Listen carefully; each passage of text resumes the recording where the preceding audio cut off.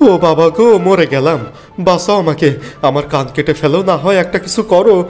আমি কান ব্যথা সহ্য করতে পারছি না। এই একটু ধৈর্য ধর, সবই ঠিক হয়ে যাবে ইনশাল্লাহ। এই মতিন ভাই, কি হয়েছে আপনার ছেলের? ও এভাবে কান্নাকাটি করছে, ওকে ডাক্তারের কাছে নিয়ে যান না কেন? ডাক্তারের কাছে নিমু কেমনে? কেন, কি হয়েছে? ডাক্তারের কাছে নিতে গেলে তিন চার হাজার টাকা লাগবো। এখনে এত টাকা আমি পামু কোথায়? হুম, তাও তো একটা কথা। তাইলে কানে একটু সরিষার তেল দিয়া দেখতেন, ব্যথা কমে কিনা? তেল দিতে চাইছিলাম, কিন্তু কানের ভেতর কি যেন সাদা একটা দেখা যায়, তাই তেল দিতে পারি নাই। কি বলেন, কানের ভেতরে আবার কি দেখা যাবে? গতকাল কান থেকে এই জিনিসটা বের করছি। দেখতে পুতির মতো মনে হইল, আমার মনে হয় এইটা একটা ডায়মন্ড। আপনি আমার সাথে ফাইজলামি করছেন নাকি? কান দিয়া কোনোদিন ডায়মন্ডের পুঁতি বের হয় নাকি? আমিও প্রথমে বিশ্বাস করতে পারি নাই। পরে যখন ও কানের ব্যথায় চিৎকার করছিল, তখন সহ্য করতে না পেরে ওর কানে লাইট দিয়া দেখার চেষ্টা করি। তখন কানের ভিতর দেখি সাদা কি যেন একটা জল জল করছে আমি তখন সেইটা বহু কষ্টে বের করি, সাথে সাথে কানের ব্যথা কমে যায়। এইটা আমি বিশ্বাস করতে পারি না, এইটা অসম্ভব কথা। বিশ্বাস না হলে আপনি দেখতে পারেন। আচ্ছা আমি দেখছি, লাইটটা দেন তো। জয়নাল ছেলেটার কানে লাইট দিয়ে দেখল, ঠিকই কানের ভিতর কিছু একটা জলজল করছে। ঘটনা তো সত্যিই মনে হচ্ছে। আমি মিথ্যা কথা কইতে যাব কেন? বিকালবেলা। তুই কি ঘটনা কিছু শুনছস নাকি? কি ঘটনা? না বললে কেমনে শুনব? আরে, ওই মতিনের পোলার ব্যাপারে।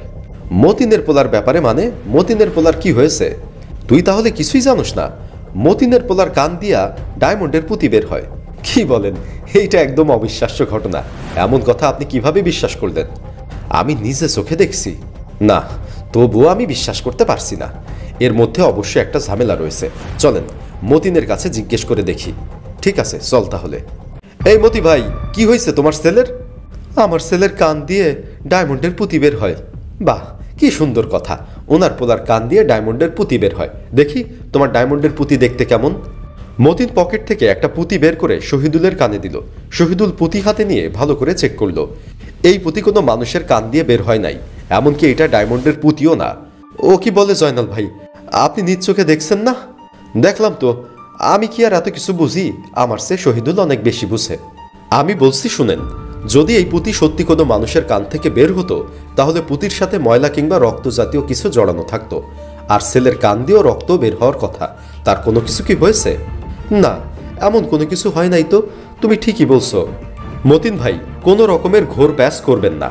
আমাদের বলেন যে এই ধরনের কাহিনী করার মানে কি? আমি কোনো কাহিনী করি নাই। জয়নাল ভাই যা দেখেছে সবই সত্যি। আপনি যদি সত্যি কথা না বলেন, তাহলে আমি মানুষ ডেকে গণধোলাই দিয়ে পুলিশের হাতে তুলে দিব। মতিন ভাই, আপনার চেহারা দেখে বোঝা যাচ্ছে আপনি কোনো কিছু গোপন করছেন। আপনি যদি সত্যি কথা না বলেন, তাহলে কিন্তু ঝামেলা হয়ে যাবে।